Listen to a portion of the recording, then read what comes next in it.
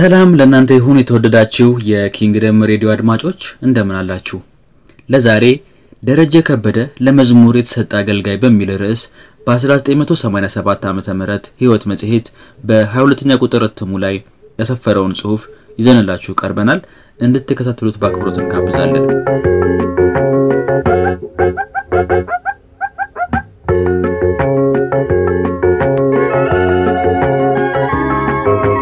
ደረጀ ከበደ ለመዝሙር የተሰጠ አገልጋይ።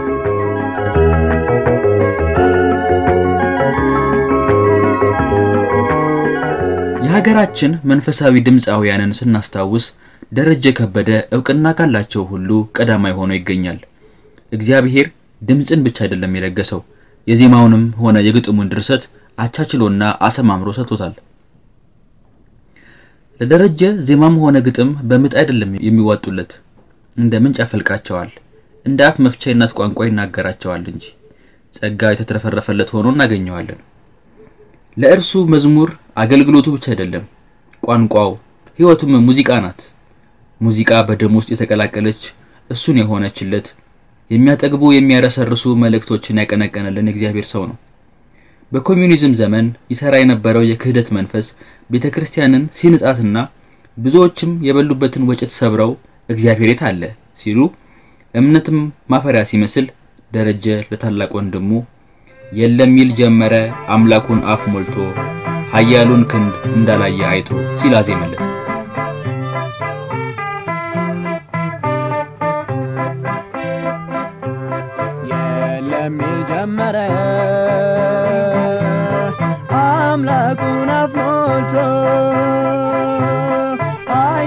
እንደሚነገረው ደረጀ ወደ ቤተ ክርስቲያን እንዲመጣ ምክንያት የሆነው ታላቅ ወንድሙ ሚሊዮን ከበደ ሲሆን በዚያ የክህደት ዘመን እንደ መንሸራተት ቢለው ነው ዘማሪው የለም ሚል ጀመረን ያቀነቀነለት። ብዙዎች እንደሚሉት በእነዚያ ክፉ ዘመናት የሞተው ወንድሙ ሚሊዮን ከበደ ለደረጀና ለመሰረተ ክርስቶስ ቤተ ክርስቲያን የመዝሙር አገልግሎት ታላቅ አስተዋጽኦ እንዳደረገና በአንድነት የሚያገለግሉ እንደነበር ይናገራሉ። መዝሙሮቹ ከራሱና ከሌሎች ሰዎች የህይወት ገጠመኞች ጋር የተሳሰሩ ናቸው። በእድገት በህብረት ዘመቻ ላይ ገጠር ሆኖ ብዙዎች ክርስቶስን ሲተዉና ክህደት ሲስፋፋ ሰይጣን የእርሱንም እምነት ሊመነትፍ ጽናቱን ሊያናጋበት አጥብቆ ሲዋጋው እስካሁን ባጸናኝ አሁንም ጸናለሁ፣ ኃይሉ የኢየሱስ ነው ለምን እፈራለሁ ሲል ለጌታው ያለውን ታማኝነት በእምነት መስክሯል።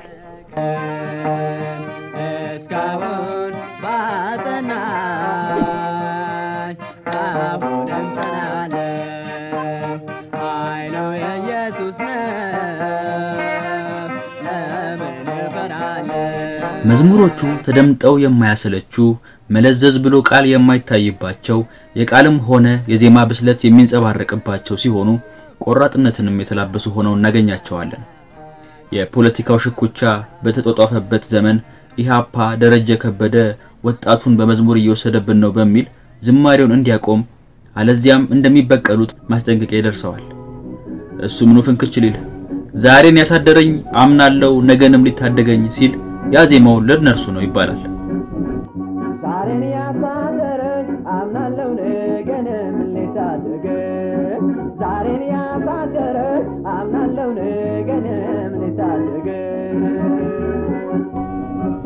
ይህ ዘማሪ መዝሙሮቹ ፍጹም ከኩረጃ የነጹ ወጥነትን የተላበሱ የጌታቸውን ክብር አጉልተው የሚያውጁ በአዳዲስ ፈጠራዎች የተከሸኑ ሆነው እናገኛቸዋለን። ድርሰቶቹ አይናፋርነት አይታይባቸውም። መንፈሳዊ ወንድሞቹ ዙሪያ ገባውን ጥስቅ አድርገው አላላውስ ሲሉት እንደ ሰው ሲፈርዱበትና ሲገፉት እግዚአብሔር ሰው ቢሆን ከቶ ምን በዋጠን ምስኪንን የሚያጽናና አምላክ ነውና ሲል ዝማሬውን አስደመጠ። እግዚአብሔር ሰውን ቢሆን ከቶ ምን በዋጠን ምስኪን የሚያጽናና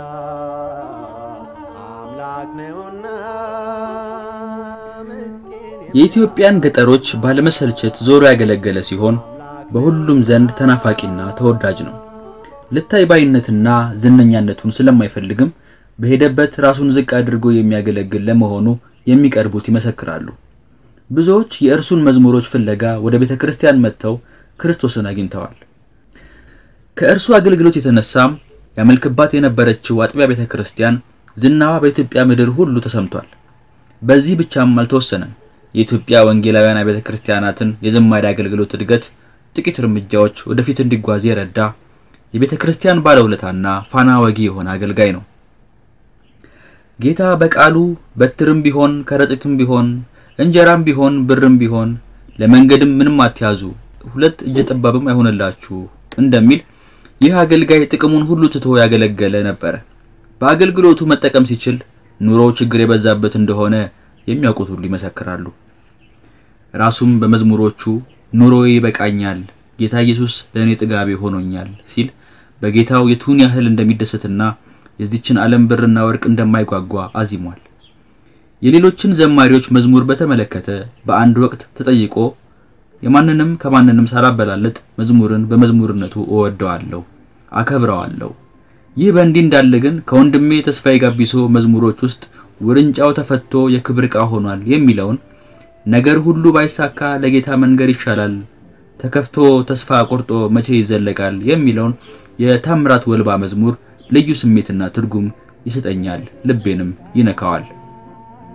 ስለ ራሴ መዝሙሮች ሳስብ የዘመርኳቸው ሁሉ ለመንፈስ ቅዱስ ለራሱ ክብር ለምእመናኑ በረከትና ጥቅም እስከሆነ ድረስ ራሴ የዘመርኳቸው ስለሆኑ ይህን እጠላዋለሁ፣ ይህን እወደዋለሁ ማለት ያስቸግረኛል።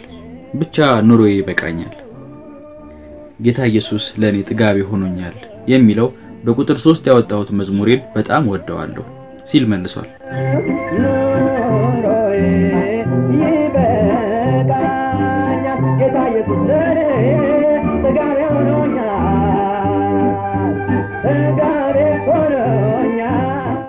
ደረጀ ከበደ በአንድ ወቅት ከብስራተ ወንጌል ሬዲዮ ጣቢያ ቃለ መጠይቅ ተደርጎለት እንዴት ጌታ እንደተቀበለ ሲመልስ መዝሙር ሰምቶ እንደሆነ ተናግሯል። ኦሎምፒያ አካባቢ በሚገኘው መሰረተ ክርስቶስ ቤተክርስቲያን ጥቂት ምዕመናን በተሰበሰቡበት በአምልኮ ሰዓት የቆሙት የቀድሞው የጽዮን ቤተክርስቲያን ዘማሪያን ፈውሰኝ ኢየሱስ እፈወሳለሁ፣ አድነኝ ጌታዬ እድናለሁ ብለው ሲዘምሩ ደረጀ እምባውን ማቆም ተሳነው። ለጌታው ተረታ። እንደ ዝማሬው መንፈስ ቅዱስ ውስጡን ፈወሰው፣ ዳነ። ራሱ ደረጀ እንደሚናገረው ለመዝሙርና ለመዘምራን ከነበረኝ ፍቅርና አክብሮት የተነሳ ዘማሪዎች አሉ ወደሚባሉበት ቤተክርስቲያን ሁሉ እሄድ ነበረ። ለሁለት ወራት በእንዲህ ያለ ሁኔታ ከተመላለስኩ በኋላ ነው ጌታን እንደ ግል አዳኝ አድርጌ ለመቀበል የወሰንኩት ይላል። እርሱ ወደ መሰረተ ክርስቶስ ቤተክርስቲያን ሲመጣ መዘምራኑ ገና አልተቋቋሙም። በዚያን ዘመን በምድር ጦር ውስጥ በዘፋኝነት ተቀጥረው ይሰሩ የነበሩ በኋላም ጌታን አግኝተው በቤተ ክርስቲያኗ አንዳንድ አገልግሎት የቆዩና የመጀመሪያዋን መሰረተ ክርስቶስ ቤተ ክርስቲያን ካቋቋሙ ሰዎች አንዱ የሆኑት ወንድም ሙስጠፋ አሊ የተወሰኑ ወጣቶችን በማሰባሰብ ሳሉ ደረጀ ከተመረጡት አንዱ ሆነ። ወንድም ሙስጠፋ ድምፁን ሲሰሙ ይህ ወጣት ወደፊት ታላቅ ዘማሪ ይወጣዋል ብለው ተንብየውለት እንደነበር ይህ ጽሑፍ ሲቀናበር አስታውሰው ተናግረዋል። ከጥቂት ወራት በኋላ ደረጀ ማንም ሳያሰለጥነው ጊታር መጫወት ጀመረ። በአጭር ጊዜ ውስጥ አገልግሎቱ ታዋቂነትን በማግኘቱ ቁጥር አንድ ካሴቱን በብስራተ ወንጌል ሬዲዮ ጣቢያ ለማስቀረጽ በቃ። ዝማሬዎቹ ፈጠራን የተሸለሙ ናቸው ብለናል። ቃላቶቹን እንዴት አድርጎ ከዜማው ጋር እንደሚያቀናጃቸው የራሱ የሆኑ ጥበባዊ ብልሃቶች አሉት። የአዘማመር ቅላጼዎቹ ያልተከላለሰ ዘዬ አላቸው። የግጥሞቹ ቤት መምቻና ቤት መድፊያዎች በዘፈቀደ የተገጠገጡም አይደሉም፣ ታስቦባቸው የተቀመሩ እንጂ። ሌሎች ደርሰው የሰጡትን የመዝሙር ግጥሞች ዜማ አውጥቶላቸው የመዘመር ችሎታም አለው። በዚህም ሳይወሰን እንግዳ በሆነበት የኦሮምኛ ቋንቋ ኢየሱስ ነአጃላታ ብሎ ሲዘምር ለማያውቀው ከብሔረ ኦሮሞ የወጣ የኦሮሞ ልጅ ያስመስለዋል። በአርቲስትነት ተሰጥኦ እንጂ እርሱ የኦሮሞን አፍ የሚያውቅ ሆኖ አይደለም። የፈረንጁንም ቃል እንደዘመረበት ከራሱ አንደበት ተሰምቷል።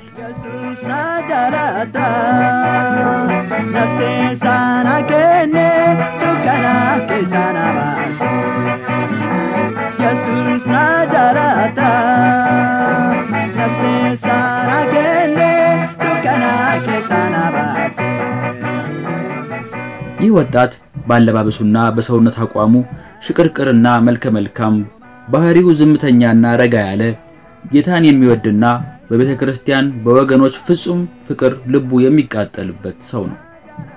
አብያተ ክርስቲያናትን አንዱን ከአንዱ ሳያበላልጥ በማንኛውም ቦታ ያለ አንዳች ቅሬታና ምክንያት ሳያበዛ ለተጠራበት አገልግሎት በቅንነት አገልግሏል።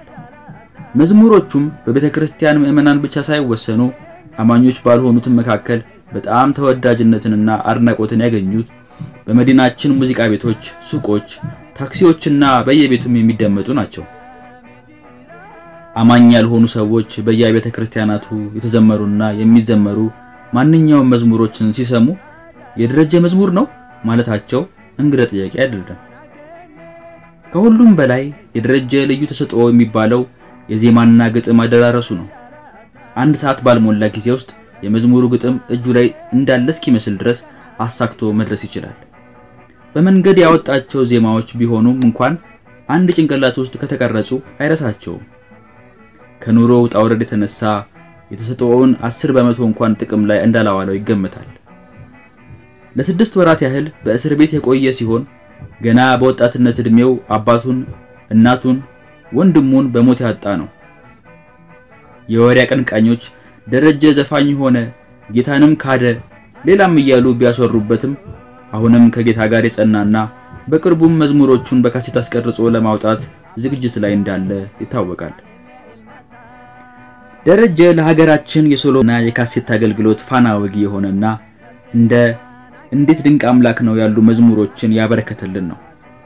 ይህ ዘማሪ በቀላሉ ከሰው ተግባብቶ ጓደኝነትን መመስረት አይሆንለትም። ራሱን የሚጠብቅ ስሙ እንዲጎድፍ የማይፈቅድ ከማንም እርዳታን የማይሻ በራሱም የሚተማመን ሲሆን ለእግዚአብሔር ለሆነው ሁሉ ጥንቃቄን የሚያደርግ አስተዋይነት ይታይበታል። ስለ አምላኩ ታላቅነትና ክብር ጣዕም ባለው ዝማሬው መልስ ሳይሰጥ ያለፈበት ጊዜ የለም። በአስረኛው አብዮት በዓል አብዮታዊ ዝማሬ እንጠብቅብሃለን፣ ይህ ባይሆን ግን እርምጃ ለመውሰድ እንገደዳለን የሚል የወቅቱ አስፈሪ ማስጠንቀቂያ ደረሰው።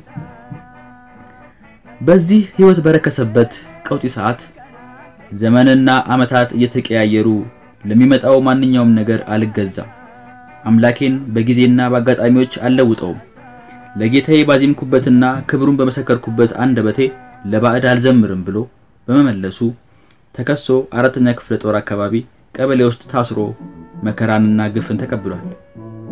በዚያን ወቅት ነበር ሞት ላይቀር ዞሮ ዞሮ ማለፍ ጀግንነት ነው ጌታን አስከብሮ ሲል የዘመረው። ሞት ላይቀር ዞሮ ዞሮ ማለፍ ጀግንነት ነው ጌታን አስከብሮ ሞት ላይቀር ዞሮ ዞሮ ማለፍ ጀግንነት ነው ጌታን በነበረው መከራ ምክንያት ብዙዎች ሀገር እየለቀቁ በስደት ሲኖሩ ደረጀን ከአምላኩ ሌላ ና እናስጠጋህ ያለው አልነበረም። በእስር ቤት ውስጥ ሆኖ ሐዘን ከብዶበት ሲያጉረመረምም አንድ ክርስቲያን የሆነ አብዮት ጠባቂ ተደብቆ ምሽት ላይ የመጣ እስቲ የዘመርካቸውን መዝሙሮች አስታውስ እያለ ያበረታታውና ያጽናናው እንደነበር ይናገራል። ደረጀ አብዛኛው ሕይወቱ ውጣ ውረድ የበዛበት በመሆኑና የአርቲስትነት ባህሪ ተጽዕኖ እያደረገበት በቀላሉ ስሜቱ ሲጎዳና ሲነጫነጭ ሲቆጣም ይታያል። ሰዎችን አክባሪና ማንንም ሆን ብሎ ለማስቀየም የማይፈልግ ጥንቁቅ ሰው ቢሆንም እርሱን ለማስቆጣት ግን ጥቂት ግጭት መጫር በቂ ነው። ስሜቱ በቶሎ ይጎዳል። የዚህ አይነት ባህሪ በአብዛኛው በአርት ሙያ ላይ ባሉ ሰዎች የሚንጸባረቅ በመሆኑ ሙያው የፈጠረው ተጽዕኖ ሊሆን እንደሚችል መረዳቱ ተገቢ ይሆናል። በደረጀ ሕይወት ውስጥ በተለይም ከጥቂት ዓመታት ወዲህ ከዝማሬ አገልግሎቱ የሚያስተጓጉሉት ውጣ ውረዶች ቢታዩና ምስክርነቱን ሊያጨልሙበት ቢሞክሩም ዛሬም ከጌታው ጋር እንደሆነ በእርግጠኝነት መናገር ይችላል። ደረጀ ከባለቤቱ ጋር በተፈጠረው አለመግባባት ፍቺ ያጋጠመው ቢሆንም ሐዋርያው ጳውሎስ የሚደክም ማን ነው? እኔ አልደክምምን? የሚሰናከል ማን ነው? እኔ አልሰናከልምን? እንዳለው ሁሉ ደረጀም ስለ ራሱ በእግዚአብሔርም ሆነ በሰው ፊት የሚለው ብዙ ነገር እንደሚኖረው እርግጠኞች ነን። ይልቁንስ በአንደኛ ቆሮንቶስ ምዕራፍ 4 ቁጥር 3 ላይ ነገር ግን በእናንተ ዘንድ ወይንም በሌላ ሰው ዘንድ ብፈርድ ለእኔ ምንም አይደለም፣ እኔም በራሴ እንኳን አልፈርድም፣ በራሴ ላይ ምንም አላውቅምና፣ ነገር ግን በዚህ አልጸድቅም፣ እኔን የሚፈርድ ግን ጌታ ነው እንደሚል ማሰቡ ይመረጣል።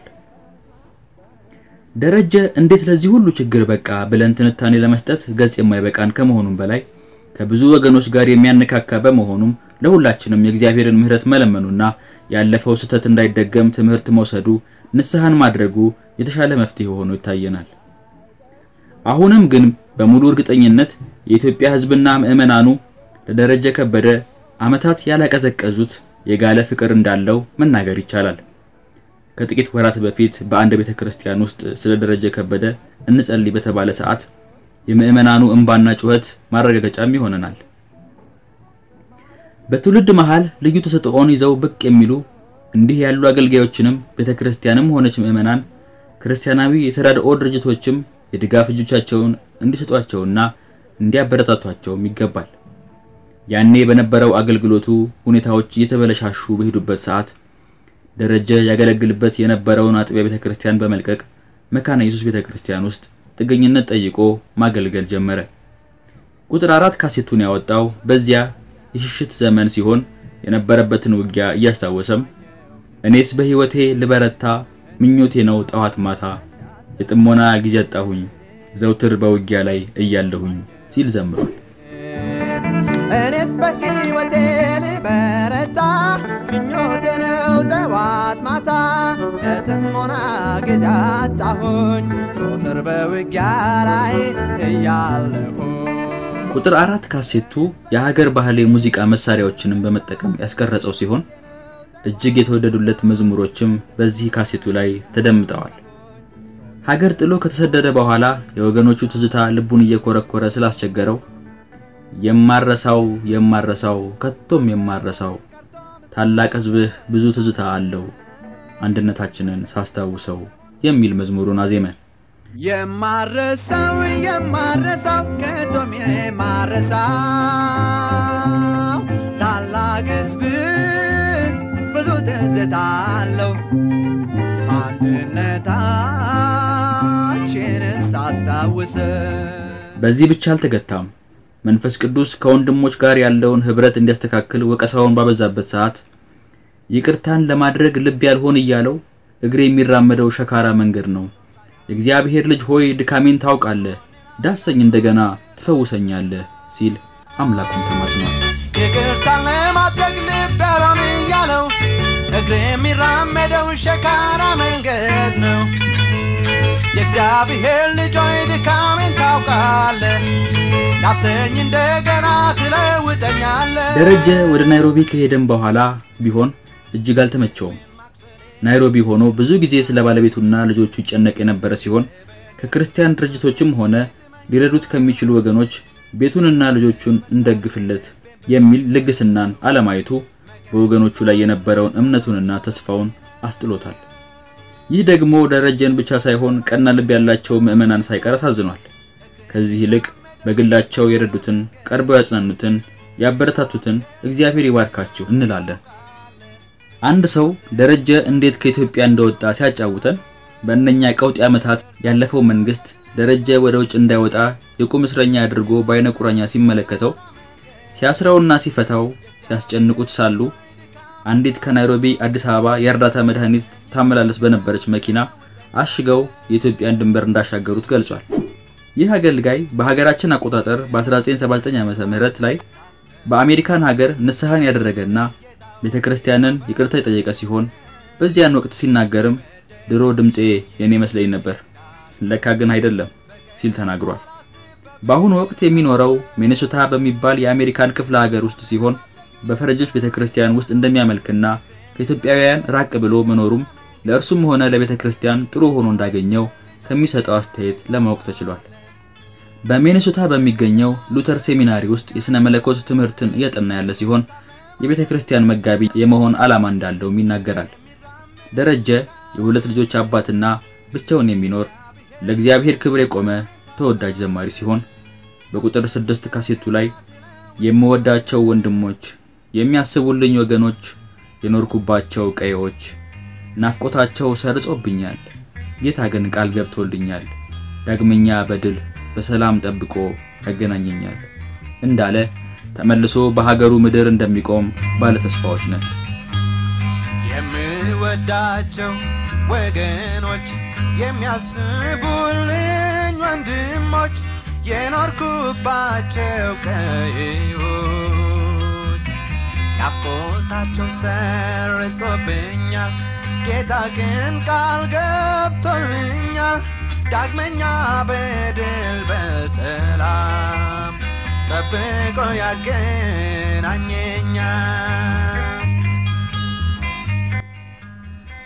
አድማጮቻችን ደረጀ ከበደ ለመዝሙር የተሰጠ አገልጋይ በሚል ርዕስ በ1987 ዓ.ም በሕይወት መጽሔት ላይ ከታተመው ጽሑፍ ላይ ያቀረብንላችሁን በዚሁ አበቃን። ስለተከታተላችሁን እናመሰግናለን። subscribe በማድረግ የ Kingdom Radio ቤተሰብ እንዲሆኑ እንጋብዞታለን።